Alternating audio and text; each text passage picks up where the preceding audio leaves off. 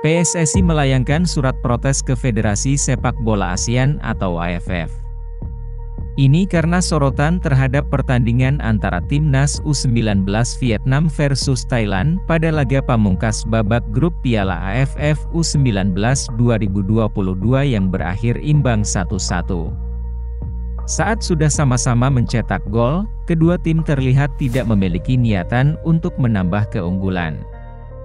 Hasil tersebut kemudian memupus harapan pasukan Shin Tiung untuk melaju ke semifinal karena kalah secara head-to-head -head dalam klasemen akhir grup A.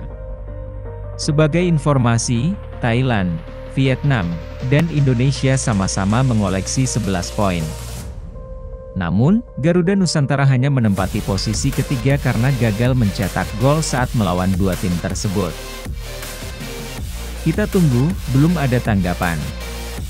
Saya sudah menyampaikan ke Presiden AFF.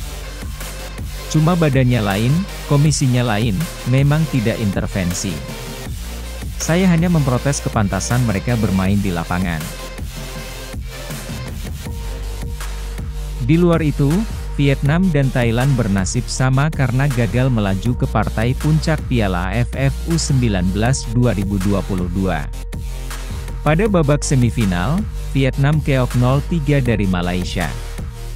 Sedangkan Thailand, dibungkam Laos 2 gol tanpa balas. Namun, Vietnam berhasil merebut tempat ketiga usai menaklukkan Thailand 6-4 via adu penalti setelah cuma bermain imbang satu sama di waktu normal. Sementara gelar juara Piala AFF U19 kali ini didapatkan Malaysia yang sukses mengalahkan Laos dengan skor 2-0.